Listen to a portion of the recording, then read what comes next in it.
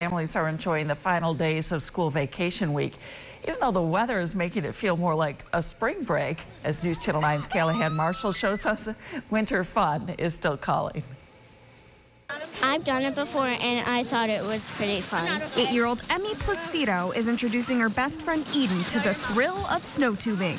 I felt like I was going to fall over and trample on Emmy.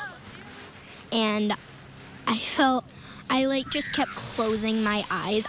I was really nervous. It wasn't so bad after that. Yes. I'm very uh, hot. And she's only wearing a sweater at the end of December. Well, it gets everybody out and it, it helps us. It's better than like the cold, uh, blowing weather we had. But um, we've got a lot of snow here and they're having fun. So we're doing the best we can with what we have. Emmy and Eden are also making the best of it. How many more times are you going to go down the hill? Like 10. No, 20. I wanted in on some fun too. It definitely didn't disappoint. This place is awesome. Yes.